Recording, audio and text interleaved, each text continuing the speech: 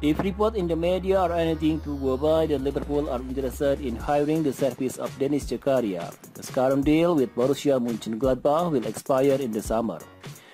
According to recent report covered by Bild, the Switzerland international could leave the club for free next summer, and the Messiah are looking to score his signature.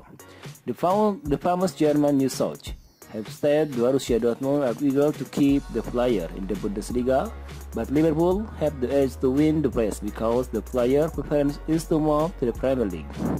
On the other hand, as per Swiss media outlet Blick, the 24 years old current market value is not around 50 million euro.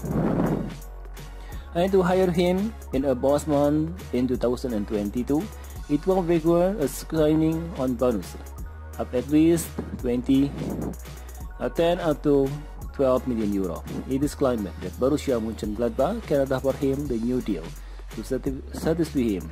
Therefore, his departure is highly likely. To get at least some sort of cash, the German club will look would look to sell the fly breaker in the winter transfer window.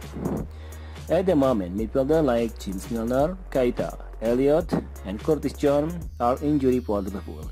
On the other hand, club has confirmed the skipper Jordan Henderson might not be available for the clash against Arsenal tomorrow. We have not replaced Gini Wijnaldum and Grujic. As said, and the Red really need a midfielder who is able to press a stop counter attack and tackle to break play. In such a situation, Zakaria will be a top quality addition.